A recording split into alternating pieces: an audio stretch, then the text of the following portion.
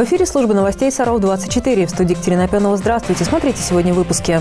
Более 30 человек выздоровели, двое в тяжелом состоянии. Как развивается ситуация с коронавирусом в Сарове.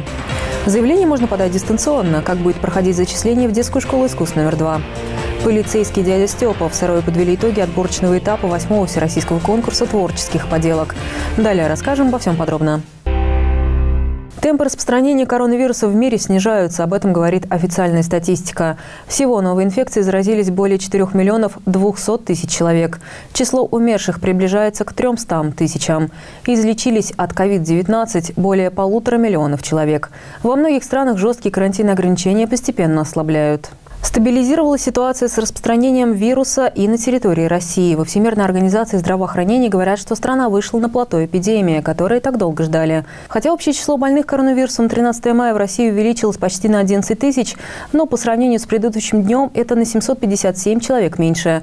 Общее число инфицированных в России составляет более 230 тысяч человек. Новые случаи заражения зафиксированы в 83 субъектах Российской Федерации. Больше всего в столице – 5392. За сутки 107 человек не смогли справиться с болезнью и погибли. Общее число погибших увеличилось до 2116. По 10 тысяч рублей на каждого ребенка в возрасте от 3 до 16 лет получат все российские семьи. Для оформления выплаты достаточно будет только подать заявление и ждать перечисления на указанные реквизиты. Обратиться за выплатой можно через портал госуслуг или через отделение пенсионного фонда. Деньги на счет одного из родителей будут перечислять с 1 июня 2020 года.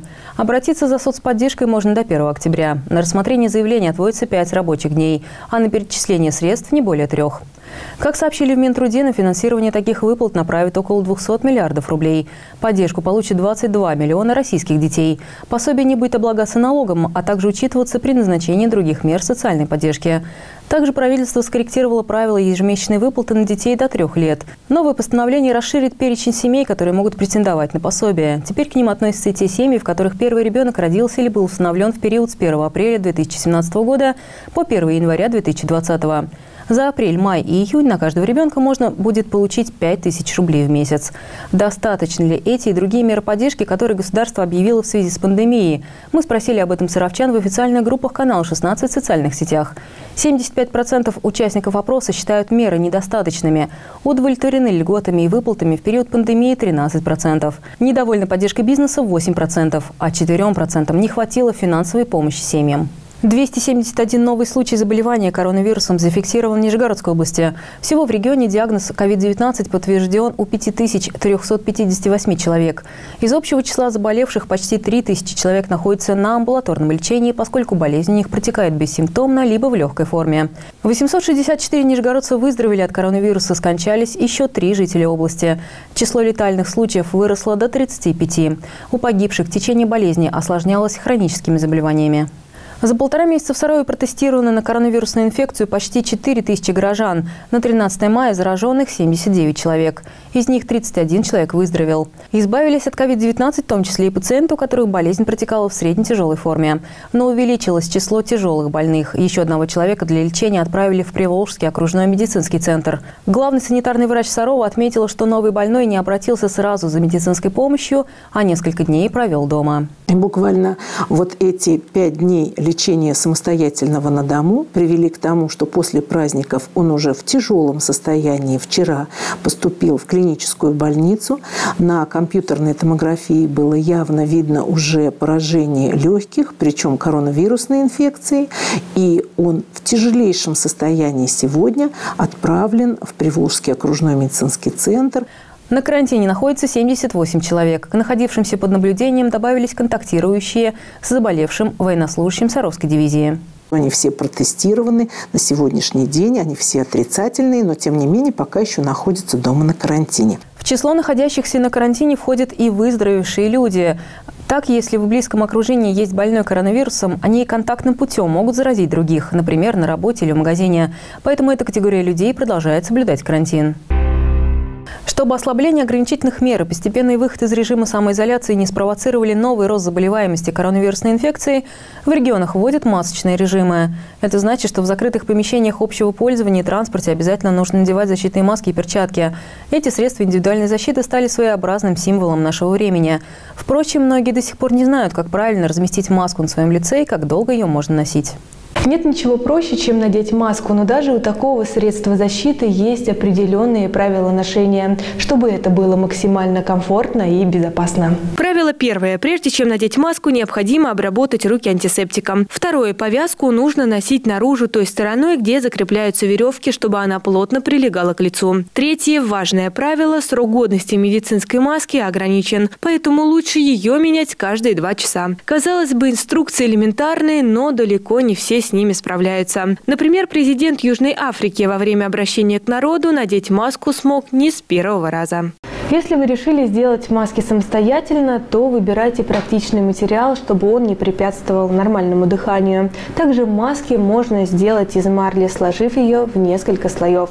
Перед повторным использованием тщательно продезинфицировать, постирать и прогладить утюгом. По словам специалистов, маска – универсальное средство защиты. Если здоровый человек носит маску, то при сохранении дистанции в полтора метра его шансы заразиться при встрече с носителем вируса падают до 70%. Если больной человек человек носит маску и соблюдает дистанцию, то, скорее всего, он никогда не заразит. Учитывая, что большинство носителей COVID-19 не имеют никаких симптомов, маска играет важную роль. Вы можете не знать о своей болезни, но надевая маску, вы с большей долей вероятности защитите от коронавируса других. Ирина Вышегородцева, Константин Островский, Александр Мальков. Служба новостей Саров 24. 20 мая министр просвещения Российской Федерации Сергей Кравцов в формате видеоинтервью на сайте «Российской газеты» ответит на вопросы читателей и журналистов издания, в том числе связанные с проведением ОГЭ и ЕГЭ дистанционным обучением, поддержкой педагогов в новом учебном году. Направить свое обращение можно по электронной почте завтрак дефис ви дефис rg собака rg.ru. Другая важная информация в подборке коротких новостей. Срок действия истекающих паспортов и водительских прав предложили продлить до конца года. Соответствующий приказ подготовили в Министерстве внутренних дел. Людям будут рекомендовать подавать заявление о выдаче или замене документов в электронном виде, а также предварительно записываться на прием, чтобы избежать очередей в подразделениях ведомства. Напомним, в апреле президент Владимир Путин своим указом продлил сроки действия документов, которые подлежат замене, до 15 июля. Мошенники придумали новую схему обмана. Ее жертвами становятся граждане, которые до пандемии запланировали отдых и заранее приобрели авиабилеты. Злоумышленники обзванивают таких людей, представляются сотрудниками авиакомпаний и предлагают им обменять нереализованные билеты на ваучеры, которые можно будет использовать после снятия ограничений. В случае, если клиент отказывается оформить ваучер и просит вернуть ему потраченные деньги, аферисты обещают помочь урегулировать вопрос за определенное вознаграждение. Разговор заканчивается просьбой сообщить данные банковской карты для списания оговоренных оговоренной суммы, а также код из полученного после этого смс-сообщения от банка. Из-за угрозы коронавируса сроки сдачи ЕГЭ решили перенести на более поздний срок. С таким заявлением выступил заместитель министра просвещения Виктор Басюк. По его словам, конкретные даты пока находятся в стадии обсуждения. Кроме того, чиновник рассказал, что единый госэкзамен в этом году будут сдавать только те школьники, которые собираются поступать в вузы. Остальные могут выставить оценки в аттестат на основании итогов года без обязательной сдачи ЕГЭ по русскому языку и математике. Экзамены для девятиклассников ОГЭ решили и вовсе отменить. Весной традиционно начинается пора прослушиваний и просмотров в детских школах искусств. В этом году пандемия внесла свои коррективы в формат приема юных талантов на творческие отделения. Заявления на зачисление принимают дистанционно. О том, как будет проходить прием детей в детскую школу искусств номер два, расскажем в следующем репортаже. Заявления на зачисление принимаются, но вслепую детей брать не будут. Как только наступит ясность со снятием ограничительных мер, в детской школе искусств номер два определят даты прослушивания и просмотров. В этом году планируют зачислить на творческие отделения 70-80 детей. В отделении народных инструментов ждут юных музыкантов от 6,5 лет. Их научат играть на баяне, гитаре и домре. Народный отдел предполагает э, разнообразие инструментов. И хотелось бы, конечно, чтобы в школе когда-нибудь заиграл, может быть, народный оркестр, хотя бы э, небольшие ансамбли. Отделение народного вокала новичков брать не будет. У них по плану набор в 2021 году. На остальные направления можно подать заявление с учетом возрастных категорий. Так, в отделение декоративно-прикладного искусства могут попасть дети старше 10 лет. Эти направления обращены к традиционным ремеслам. Ребят там учат делать керамические изделия, шить народные костюмы, мастерить поделки из дерева. Вот эти народные отделения будут в школе жить. Вместе с тем мы будем развивать современные направления, но вообще программа развития школы называется у нас концепция развития, традиции и инновации. Баланс возможен. И именно этим мы будем заниматься. Будем балансировать между э, национальной культурой, традиционной культурой и новыми направлениями деятельности. Подробнее познакомиться с условиями приема на конкретное отделение, а также узнать о внебюджетных местах можно на сайте детской школы искусств номер 2 в разделе «Приглашаем учиться». Там же можно скачать бланк заявлений и ознакомиться с критериями отбора на некоторые направления обучения. Елена Грицкова, Евгений Шевцова, Сергей Ряпов. Служба новостей Саров 24. Есть время походить в статусе жениха и невесты еще раз проверить все детали предстоящего торжества. Сотни тысяч пар были вынуждены выбирать новую дату для свадьбы. Кто-то воспринял обстоятельства с философским спокойствием, другие посчитали это знаком судьбы. Есть и те, кто с легкостью вошел в ситуацию и с юмором отнесся к переменам. Сейчас Ирина со смехом рассказывает о том, как пришлось сделать несколько десятков звонков, узнавать, уточнять, переносить. А когда в начале апреля ей позвонила сотрудница ЗАГСа и сказала, что намеченной на 6 мая регистрации их с Владом брака не будет, то расстроилась и даже обиделась. Владислав воспринял новость с философским спокойствием. Да, нормально я это все воспринял. Перенесли и перенесли, ничего страшного. Долго выбирали дату, хотели сохранить договоренности с ведущим, фотографом, арендой зала. Потом искали день, чтобы было удобно всем. Всегда же вносится какая-то предоплата, и не хочется с людей эту предоплату забирать, потому что все мы люди, все мы понимаем, в какую ситуацию попали. Вот. И вот там как-то мы пытались найти какой-нибудь денек, чтобы все это получилось, потому что уже было не так важно, какой это будет день, чтобы он просто случился.